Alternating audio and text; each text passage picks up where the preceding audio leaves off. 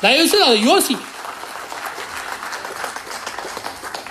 So இந்த காரணங்கள்னால தான் அதாவது ஒவ்வொரு குடும்பத்தின் அந்த பாதுகாப்பான நிலைமை அதனுடைய பொருளாதார முன்னேற்றம் இதெல்லாம் ஒரு அரசனா ஒரு ஒரு நிர்வாகியாக யோசிக்கிறார் இல்லையா?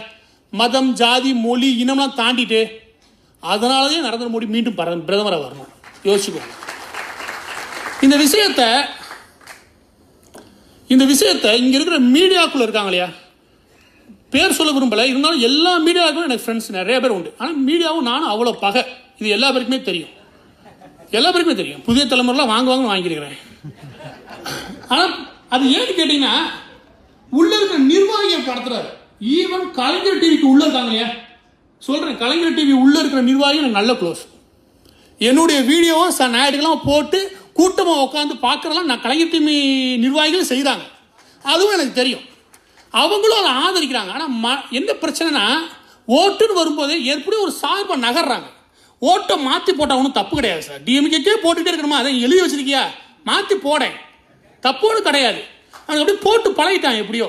அந்த பழக்கத்தை தயவுசெய்து மண்டலேருந்து மாற்றுங்க நான் போட்டவே வெற்றி பெறணும் அப்படிலாம் நினைக்காதீங்க. ஒரு சரியான நபருக்கு ஓட்டு போடணும்னு நினைங்க. அதை விட்டுட்டு நான் போட்டவே வெற்றி பெறணும். என்னென்ன என்ன ரேஸில் பந்தயத்தில் கட்டுற. நாம் போட்ட குதிரை வெற்றி பெறதுக்கு அப்படி நினைக்காத. ஒரு நல்ல மனுஷனுக்கு என் மனசை வச்சுப்படி ஓட்டு போட்டேன். அப்படி வா. சரியா? இந்த விஷயத்துக்காக நரேந்திர மோடி அவர்கள் மீண்டும் பத என்ன சொல்ல பிரதமராக வரணும். அது எல்லாத்தையும் விட இந்த பிரிவினை சக்தி இருக்கு இல்லையா? நாட்டுக்குள்ளே. இந்த தேசம் உடஞ்சி சுக்குநூறா போன்றாங்களே. அவனால் எந்த நல்லதும் எந்த நாட்டிலும் நடந்து கிடையாப்பா எல்லாம் புரிஞ்சுக்கோங்க. அது அமெரிக்காலையும் பிரிவினைவாதி இருக்கான். கனடாலையும் இருக்கிறான். பங்களாதேஷ் இருக்கிற ஸ்ரீலங்கால இருக்கிறான். பாகிஸ்தானில் இருக்கான்.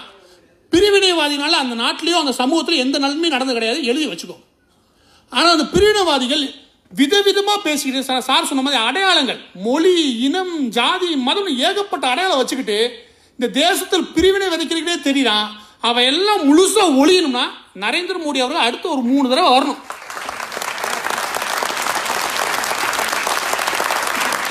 நான் அடுத்த ஒரு முறை சொல்லலை மூணு தடவை வரணும். அவர் வந்துட்டாருன்னு வச்சுக்கோங்கவே நம்ம ஒவ்வொருத்தனுக்கும் என்ன என்ன மனசில் என்ன இருக்கும்? இன்றைக்கி வந்திருக்கீங்க பார்க்குறீங்க ஒரு நடுத்தர குடும்பத்துக்கு என்ன என்ன இருக்கும்? நான் உழைக்கிறேன் சார் என் உழைப்புக்கான ஊதியம் கிடைக்கணும். என்னுடைய வாழ்க்கை செக்யூராக இருக்கும். எனக்கான நீதி கிடைக்கணும். என் குடும்பத்துக்கு மரியாதை இருக்கணும். என் பிள்ளைகளுக்கு என்னை விட ஒரு நல்ல வாழ்க்கை இருக்கும். இப்படி நம்ம நினைக்கிறோம். அந்த விஷயம் நடக்கணும்னா நரேந்திர மோடி அவர்கள் வந்தாகும் உங்களுடைய பிள்ளையோட வாழ்வு எதிர்காலம் இருக்கு இல்லையா? அது சரியாக அமைக்கிற பாக்கு பக்குவம் இருக்கு இல்லையா? அந்த நிர்வாக திறமை அது நரேந்திர மோடி அவர்கள்ட்ட இருக்குது இது உண்மை. இதுதான் நான் மூணு வருஷமாக எழுதியிருக்கிறேன். மூணு வருஷமாக முழு புள்ளி விவரத்தோட எழுதியிருக்கிறேன். இங்கே எப்படி இருக்கும்னா ஒரு சிம்பிள் மட்டும் எழுத்து சிம்பிள் எடுத்துக்காட்டு சொல்கிறேன் அஞ்சு லட்சம் அஞ்சு லட்சம் ரேஷன் கார்டுகள் போலி ரேஷன் கார்டுகளை உருவாக்கி கூடையே ஓகே ஒரு ஒரு கணக்கு சொல்கிறேன் அஞ்சு லட்சம் போலி ரேஷன் கார்டு உருவாயிருக்குன்னா மக்கள் ஒரு ஒரு லட்சம் ரேஷன் கார்டு உருவாக்குறதுக்கு வழி அந்த ஓட்டையை போட்டு வச்சுருப்பானுங்க. மீதி நாலு லட்சம் போலி ரேஷன் கார்டு இருக்கு இல்லையா அதை கவர்மெண்ட்டே உருவாக்கி வச்சிருப்பான். கூடுதலாக மானியத்தை வாங்கி இவன் வாயில் போகிறதுக்கு இதுதான் திராவிடம். நான் சொல்கிறது புரிஞ்சுதா? ரொம்ப எளிமையாக சொல்கிறேன் அந்த திட்டங்கள் அமல்படுத்துறதுக்கு இல்லையா அதுலயும் புத்தி எப்படா கொள்ளையடிக்கலாம்னு எங்களுக்கு போகும். இது புத்தி இப்படியே போயிருச்சு. ஏன்னா அந்த குறுக்கு புத்தியில் தான் இவங்க வந்தது பகுத்தறிவுன்னு. அந்த குறுக்கு புத்தியில் தான் இவங்க போராடுங்க. இப்படியே போனால் என்ன ஆகும்?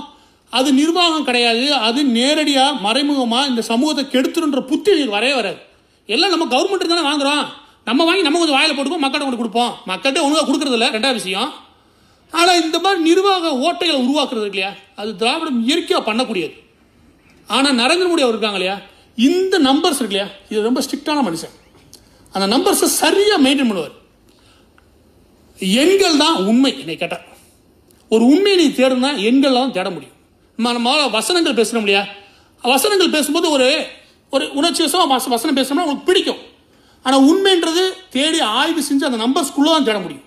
அந்த எண்களுக்கு இடையில தான் நண்பரே ஒழிஞ்சிருக்கு அந்த எண்களை கரெக்டாக மேனேஜ் பண்ணணும் இல்லையா? ஒரு எண் வேற கிடையாது. அந்த வறுமையின் அளவு இருக்கு இல்லையா?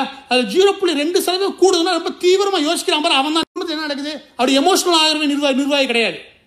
எடுத்துக்காட்டுக்கு ஒரு நிர்வாகிக்கு உங்களுக்கு நான் வித்தியாசம் சொல்கிறேன் ஒரு சாதாரண அந்த கரு கரு பழனியப்பா மாதிரி ஆளுங்கலாம் வசனம் என்ன வேணா பேசலாம். மூவாயிரம் போச்சுன்னா தீவிரமா யோசிக்கணும். என்ன ஆச்சு ஏன் பிரச்சனை அந்த 72 ரெண்டு ஐம்பதா கொண்டு வரான் பாருங்க. அவன் நிர்வாகி இருப்பான். இவன் என்ன சொல்லுவானா ஐம்பதாயிரம் ரூபாய் அப்புறம் சாக